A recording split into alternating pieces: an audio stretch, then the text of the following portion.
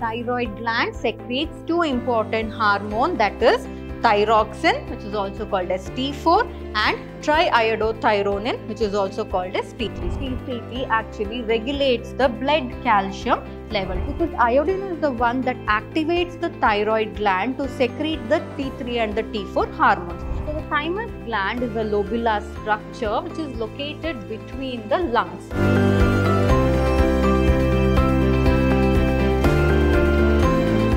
Hello everyone, a warm welcome to another session on chapter 22 that is chemical coordination and integration. I'm Dr. Divya, biology faculty, Vidhyaashram Pre-University College, Mysore, Temple of Excellence. In the previous session of this chapter, we discussed about the hormones that are secreted by the hypothalamus and the pituitary gland. In today's session, we shall discuss about the hormones that are secreted by the pineal glands, the thyroid glands, the parathyroid glands and the thymus. So, we shall begin with the session. Let us first study about one more gland before moving on to the thymus gland which is called as the pineal gland. So, the pineal gland is also situated in the brain and this pineal gland it is located in the dorsal side of the forebrain. So, in the forebrain if you remember in the previous session we had studied there is one more gland which is called as the hypothalamus which is present in the forebrain, right. Apart from that, in the forebrain itself, that is on the dorsal side of the forebrain, there is a gland that is present which is called as the pineal gland. So, this pineal gland, it secretes a hormone which is called as melatonin. Again, this also helps us to understand that it has something to do with the skin. So, what exactly is the function of this particular hormone we shall look into. So, melatonin plays a very important role in regulation of the 24 hour diurnal rhythm of a body. So, we are diurnals, right? Because we 12 hours of work and rest is of sleep. That is, we have a day and night cycle. So, that diurnal regulation, a 24 hour diurnal regulation is maintained by the melatonin which is secreted by the pineal gland. Say for example, it helps in maintaining the normal rhythms of the sleep-wake cycle, our body temperature, all that is maintained by the melatonin that is secreted by the pineal glands. And apart from that, it also helps in influencing metabolism, pigmentation of the skin, the menstrual cycle as well as the defense capability of a body. So, what is the function of the pineal gland? So, pineal gland helps us to maintain the asleep and wake up cycle that is the diurnal cycle. Apart from that, it also helps us to regulate our body temperature. It also helps us in maintaining a proper metabolism. It helps in deciding the pigmentation. It helps in maintaining a proper menstrual cycle and not just that, it also to some extent helps in providing or increasing the defense capability of a body. Next moving further, let us study about one important gland which is called as the thyroid gland.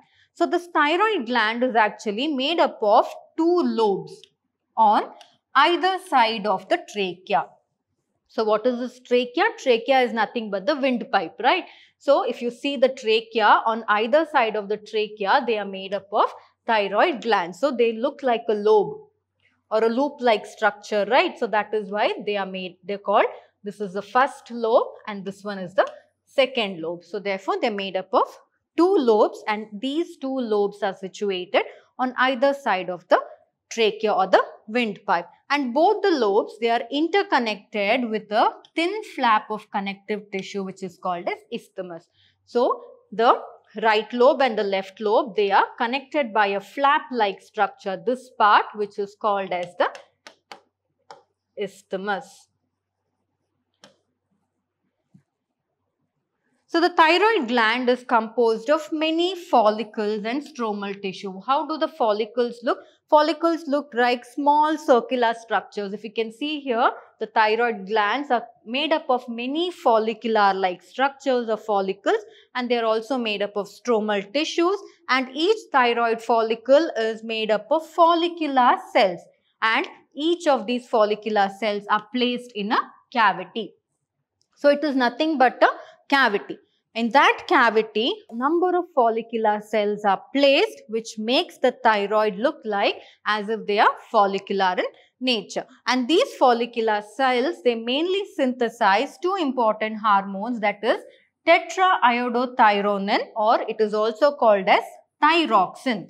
T4 or it is called as triiodothyronine or it is called as T3. So what are the two hormones they secrete? Thyroid gland secretes two important hormone that is thyroxine which is also called as T4 and triiodothyronine which is also called as T3. So T4 and T3 hormones are secreted by them.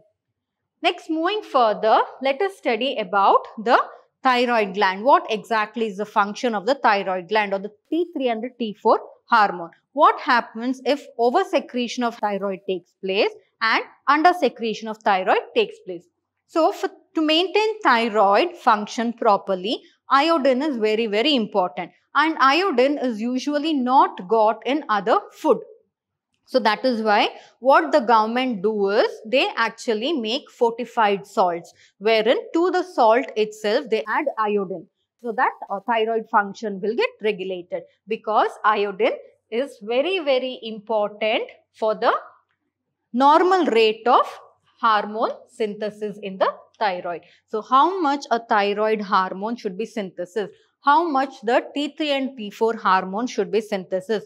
All that depends on the iodine that we taken in a diet. So, what happens when there is less secretion of thyroid? We shall see or underactive thyroid. It is called as underactive means less secretion and it is also called as hypothyroidism.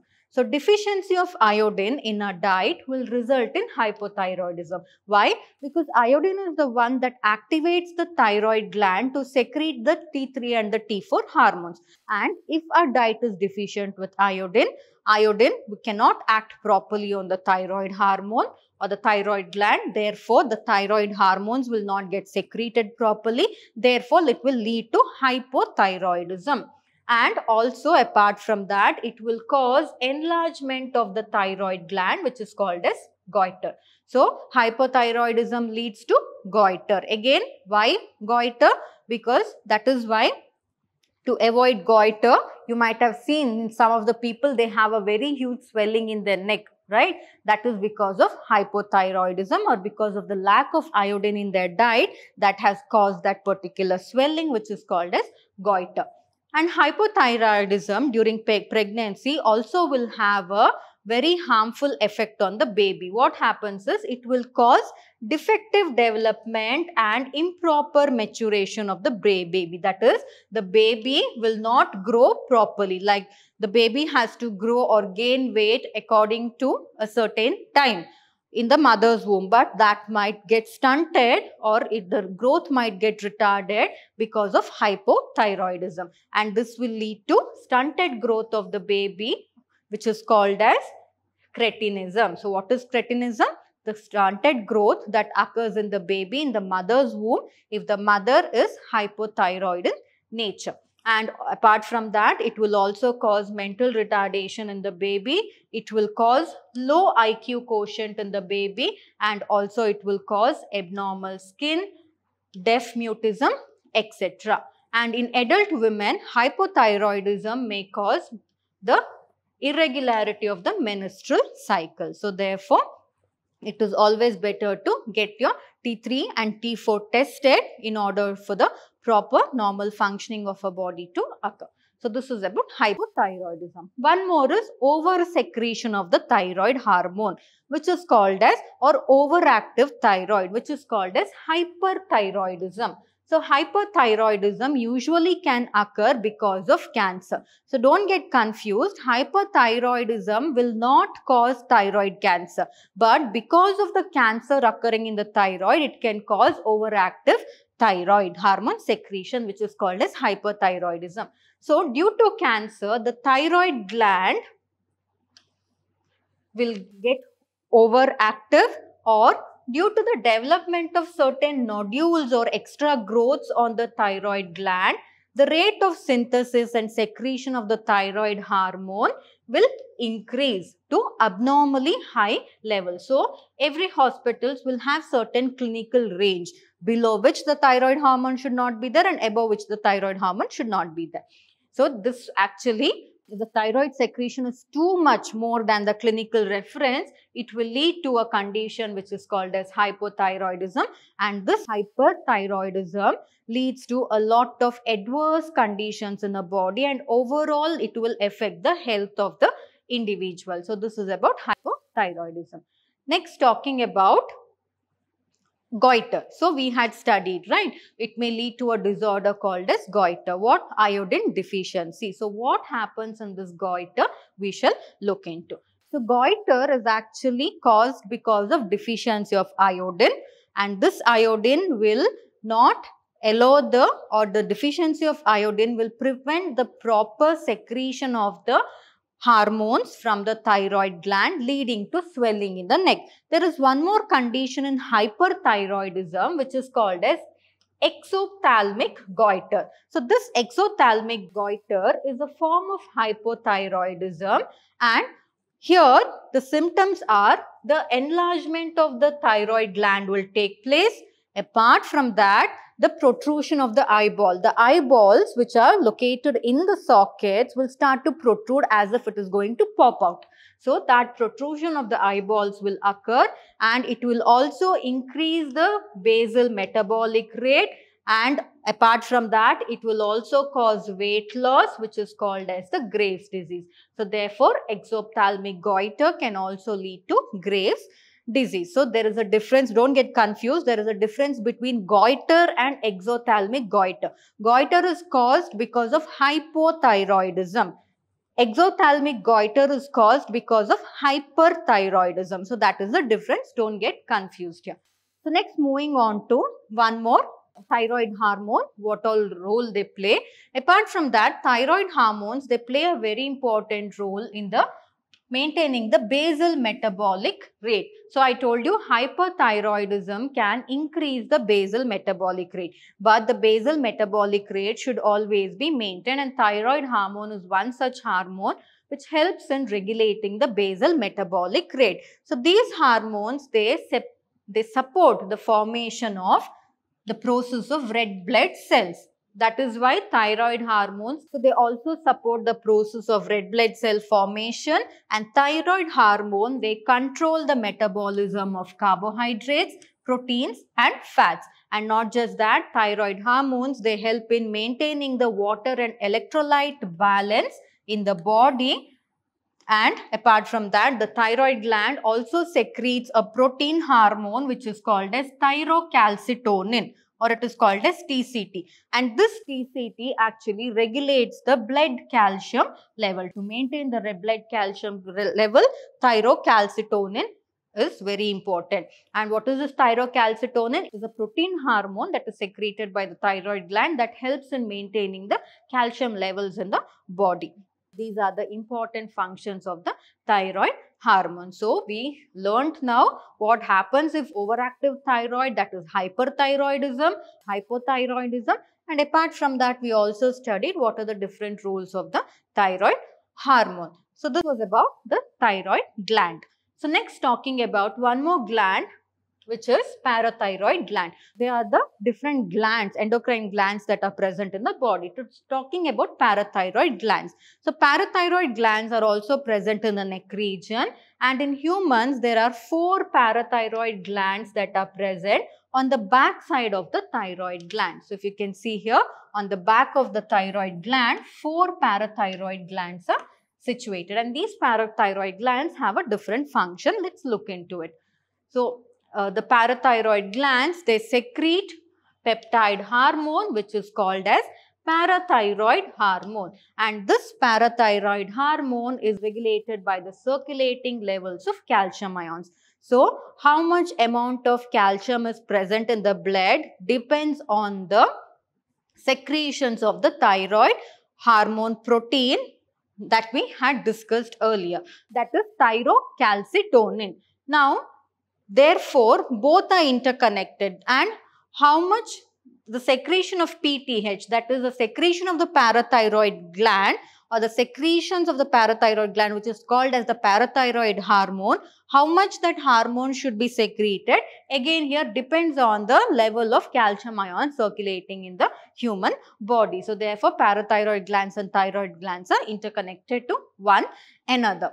The parathyroid hormone actually increases the calcium levels in the blood and the parathyroid hormone therefore they directly act on the bones and they stimulate the process of bone resorption that is dissolution of or demineralization of the bone will occur. And the parathyroid hormone also stimulates the reabsorption of calcium by the renal tubules that is the tubules of the kidney and therefore it increases calcium ion absorption from the digested food. So, proper calcium if it has to be absorbed from whatever food we take in for that also the parathyroid hormone is very very important and therefore it is understood that parathyroid hormone is hypercalcemic hormone means it helps in increasing the calcium content in the body and it which means that is blood calcium levels and along with the thyrocalcitonin that is TCT this parathyroid hormone plays a very important role in maintaining the calcium in the blood level in the body because calcium is one of the important components in the body for various processes to occur properly. So this is the function of the parathyroid gland. Next moving further let us study about the thymus gland. So the thymus gland is a lobular structure which is located between the lungs that is behind the sternum. Where is the sternum present?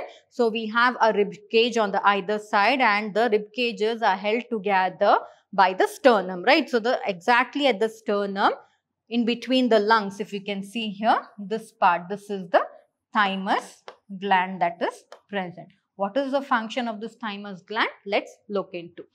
On the ventral side of the aorta of the heart and the thymus it plays a very very important role in the overall development of the immune system and this thymus gland it secretes a peptide hormone which is called as thymosin and thymosin plays a very important role in the differentiation of T lymphocytes. So, we have learnt about T lymphocytes and B lymphocytes. They are the immune cells so, if these immune cells have to get differentiated and provide immunity in the body, then therefore the thymus gland should get activated. Therefore, thymus gland is one such gland which secretes hormones that help in increasing a body's immunity. And therefore, they provide a cell mediated immunity. So, that is why thymus gland is very, very important. And apart from that, the thymosin that is secreted by the thymus gland it helps in producing various antibodies to produce humoral immunity. So, what are antibodies? Antibodies are substances that fights against the foreign bodies such as the bacteria, fun, the pathogen, various pathogens, viruses entering into a body. So, to secrete the relevant antibodies to that particular pathogen also the thymus gland secretion which is called as the thymosin hormone is very very important. And thymus is degenerated in old individuals. In old individuals, the secretion of the thymus or the activity of the thymus is it reduces as we grow old or as we age. That is why it re, um, results in the production of less thymosins and less thymosin production means less humoral immunity in our body and as a result the immune system or the immune responses of old persons become weak. So, thymus is highly active in younger people when compared to that of older people. So, as we age, the thymus gland stops being that active as in the youngsters and they will start to secrete very less thymosin. So, very less thymosin means very less immunity in the body and the immunity keeps on diminishing as we age because of the inactiveness of the thymus gland. So, this was about the thymus gland. So, this was about this particular session wherein we discussed about the functions of the different endocrine glands such as the pineal gland that is located in the brain, the thyroid and the parathyroid glands that is located in the neck region and the thymus gland that is located in between the lungs that is in the sternum of the rib cage. In the coming session, we shall discuss about the adrenal glands which is present above the kidney, the pancreas, what hormones they secrete and we shall also discuss about the gonads that is the hormone secreted by the gonads. So, when I say gonads, it is the hormone secreted by the ovary in the case of female and testis in the case of male. So, that we shall study in detail. So, we shall meet again in the coming session. Thank you.